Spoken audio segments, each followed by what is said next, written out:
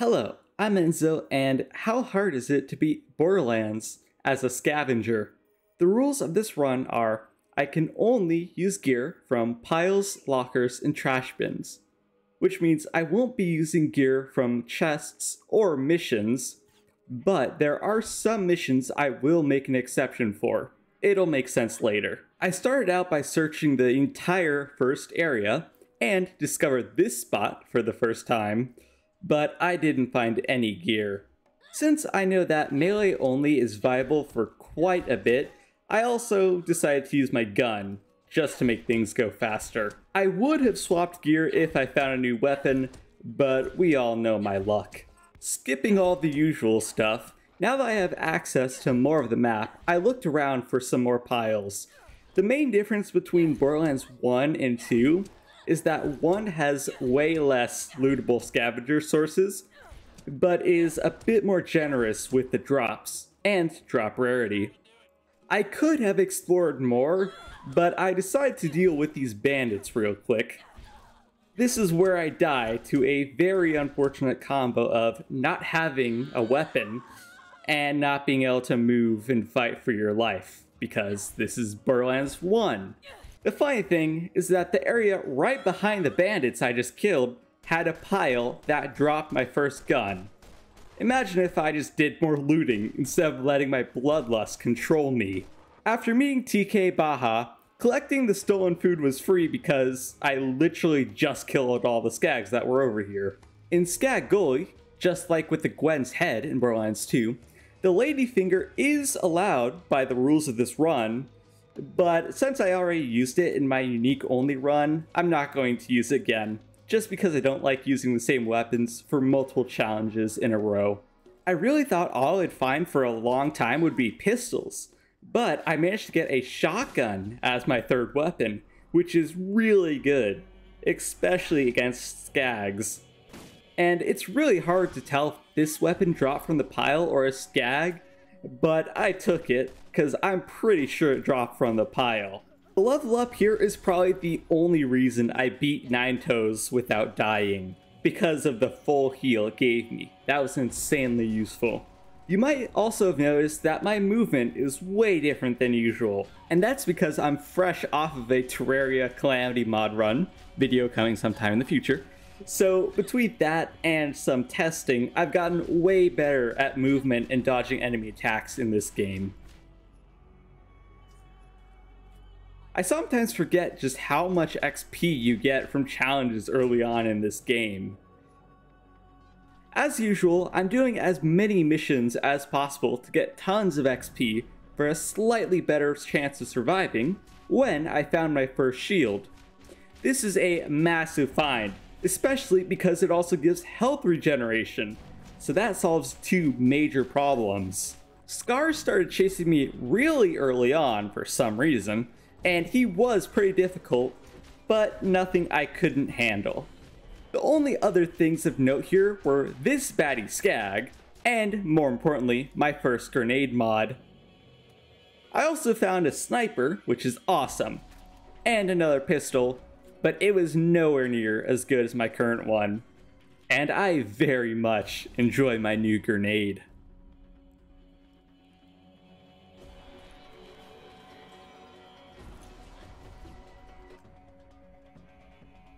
The next main objective is to kill Bonehead. Even after doing all the missions up to this point, I'm still underleveled for this fight. So, in a rare change of strategy for me, I decided to play the fight slowly and tactically.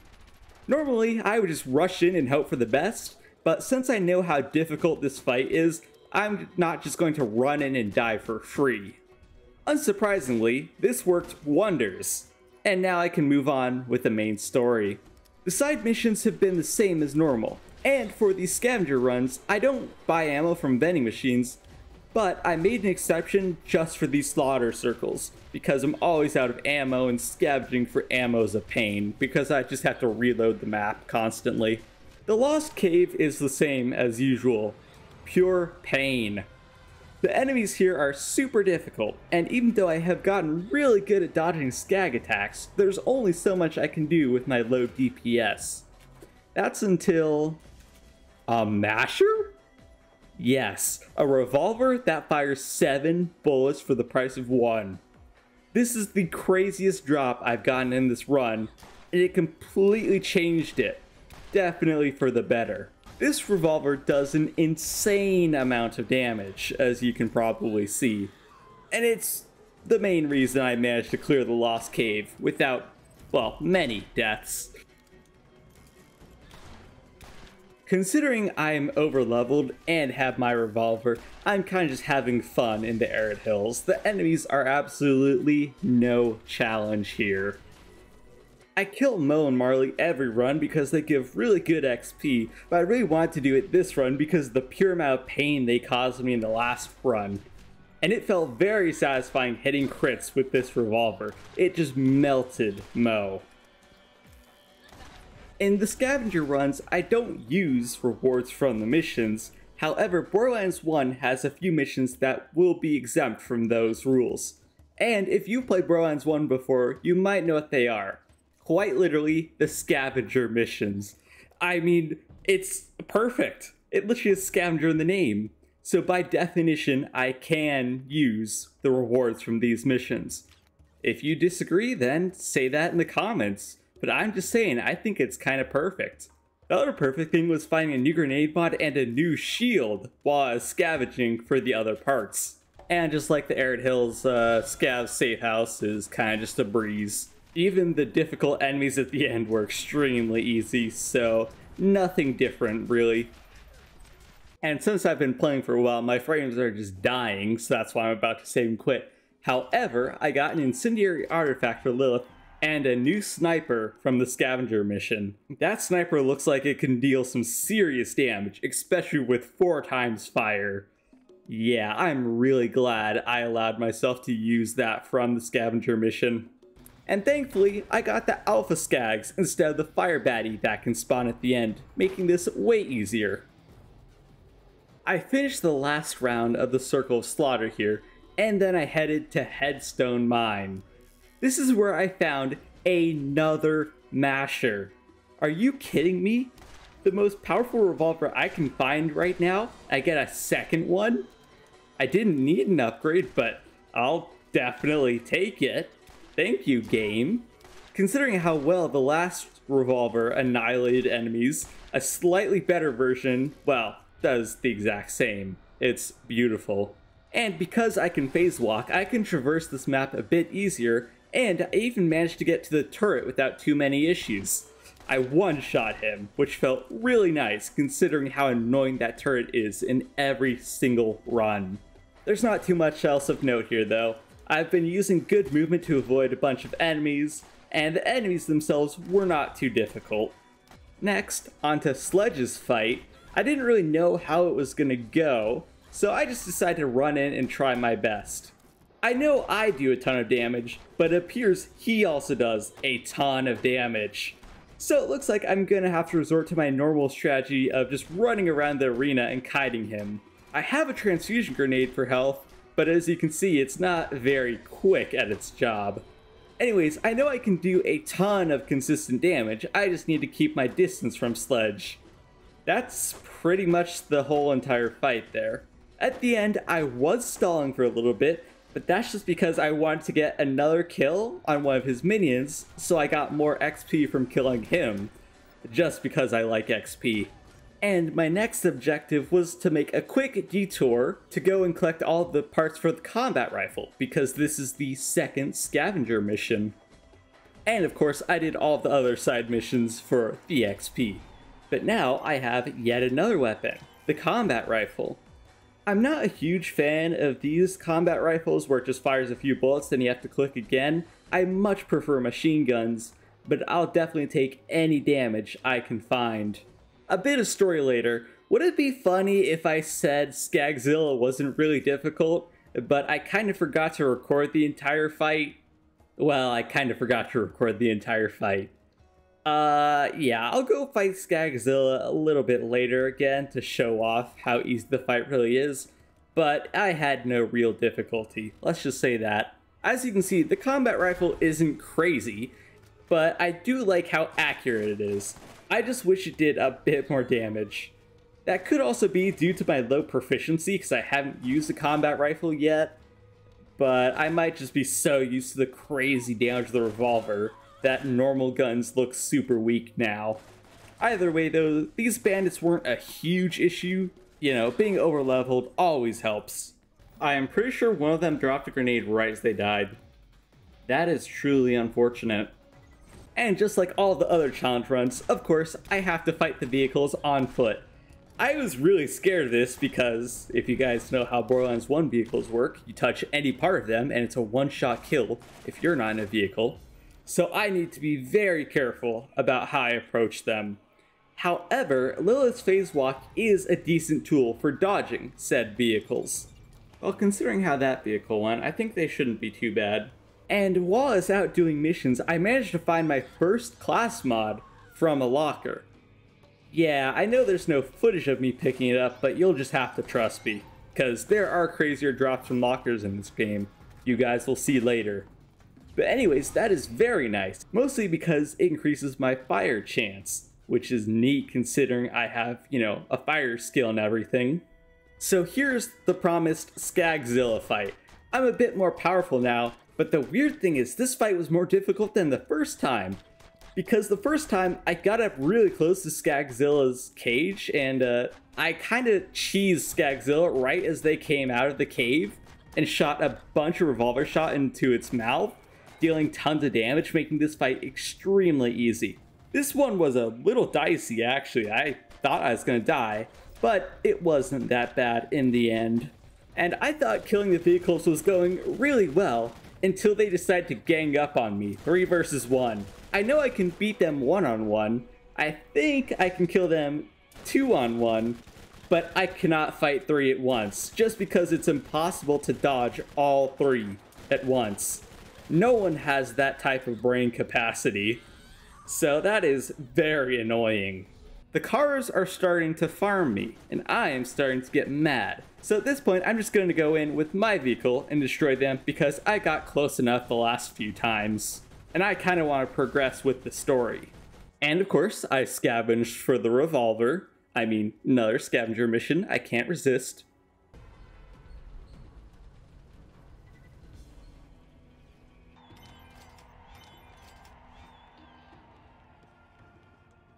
And the next fight is the one I always dread the most Mad Mel. I yet again think that this is one of the most difficult bosses, if not the most difficult, besides Crawmerax, in the game.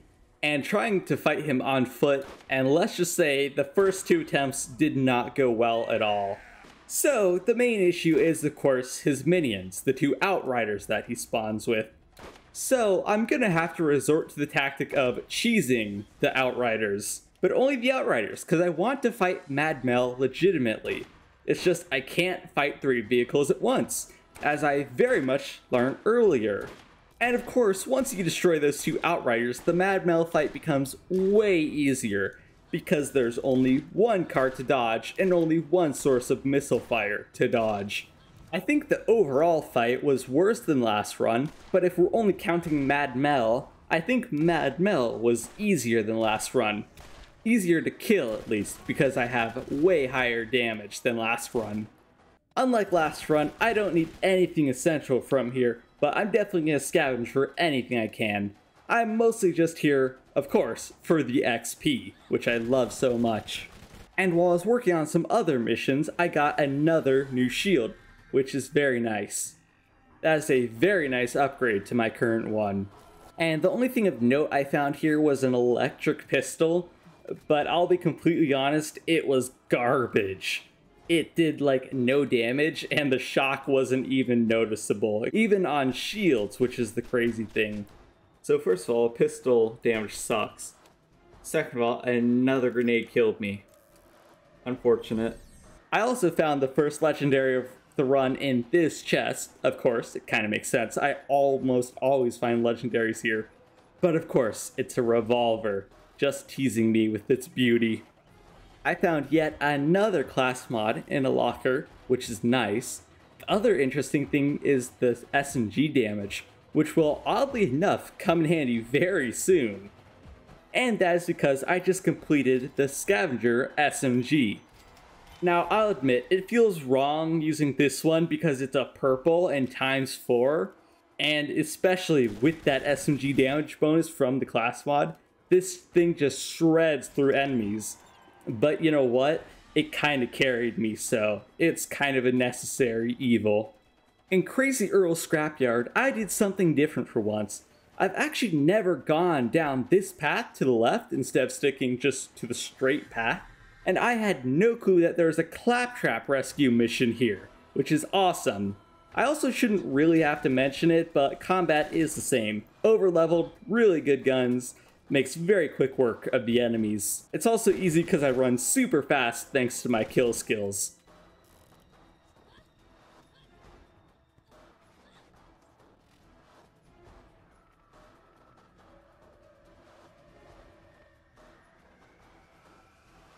I found a new repeater to replace that old shock one with, but I'll be honest, it wasn't that much better, especially compared to that beautiful, powerful SMG that I have. It's been a while since I used the combat rifle, so the game gave me a new one.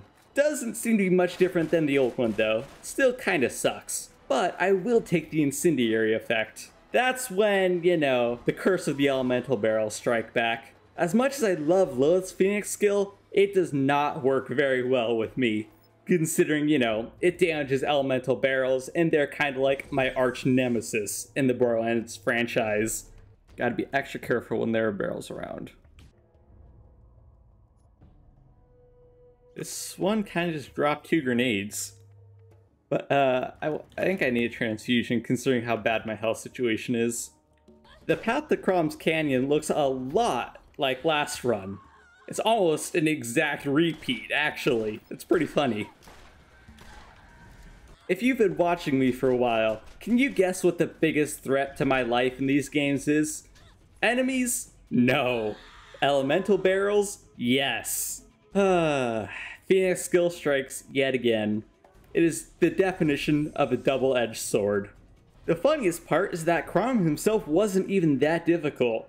My phase walk just allowed me to run right up to him without too many issues. And, you know, I kind of just beamed him from there with my new SMG, so that was pathetically easy.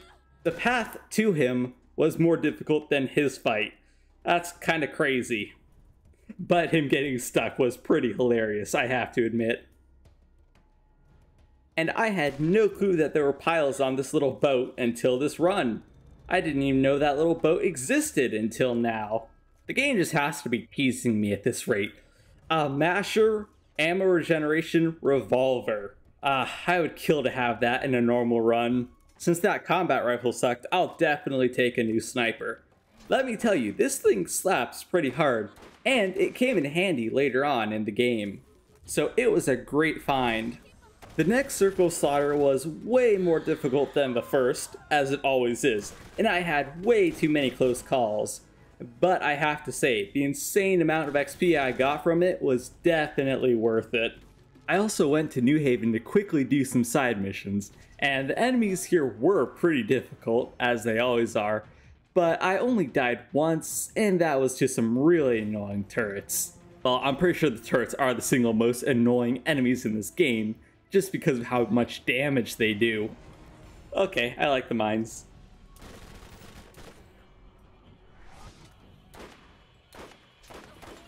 Janus Kobb killed.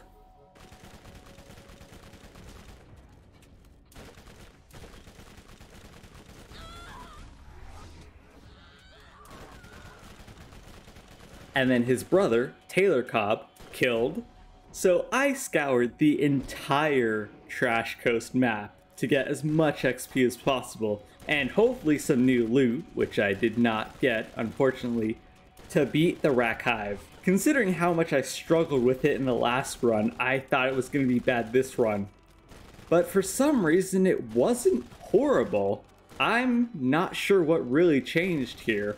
I don't know why now is when I started realizing how you actually kill this thing, you know, by shooting its eyes. But Lilith's Phase Walk is really good against all of the racket sends out because I can just blow them all up at once and resist damage, which is super good. But yeah, overall, the fight was actually really easy, which is kind of surprising to me.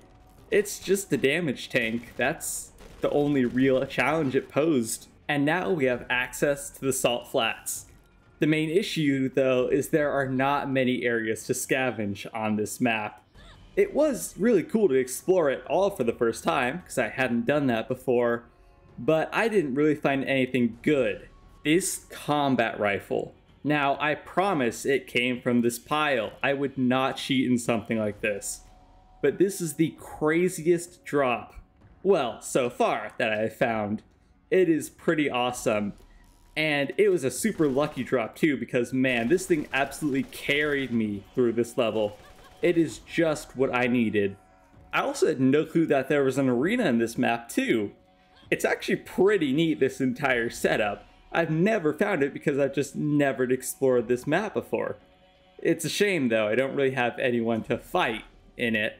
And just like the vehicles earlier, vehicles here are the exact same. That one got stuck though, which was pretty funny. The other ones were pretty easy, which is very nice, and it's all thanks to this new assault rifle, technically machine gun, technically combat rifle, that I got. This thing is beautiful. And with this new weapon that literally shreds enemies, I had a feeling that the Baron Flint fight would go very well. And indeed, that is how it went. None of the enemies posed a major threat to me, which is very nice as I usually struggle with this fight. Just like last run, I had a close call when I was about to kill Baron Flint, but in the end, even he, too, falls before my power.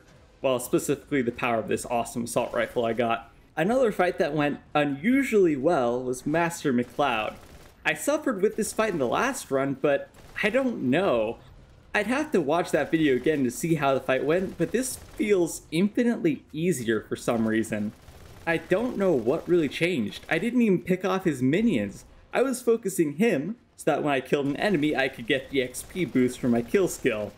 Yeah, that's literally how I've been killing all the bosses at this point. I literally just want the XP boost from my kill skills. That's all I care about. I hate turrets so much. I'm so glad I'm just able to phase walk past this one and the other one that's in here. Getting revenge like this feels so good. Besides that, everything in the Crimson Fastness was normal. Except... So I literally paused the recording for a second. The second I open this locker, I get a legendary revolver. This thing kind of sucks, I'll be honest. Damage is not as good as my masher, but still. A legendary from a locker. I know lockers have really good drop rates in this game, but I was never expecting to find a legendary in any of these scavenger runs. But if it did happen, well, actually, it'd probably be Borderlands 3, let's be honest, but I was not expecting Borderlands 1. This is the single best find of the game. And I think if you were going to try a scavenger run, definitely do Borderlands 1. It is easily the best game for it. The Guardians weren't too much trouble this time around. I mean, they're always annoying and tanky, but, you know, I didn't die crazy or anything like that here.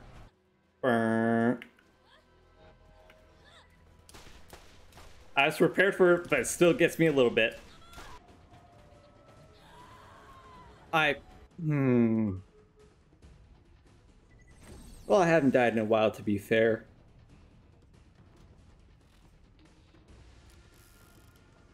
And right before I go to the final level, I finish the machine gun scavenger, but obviously it's not going to be anywhere near as good as my current one.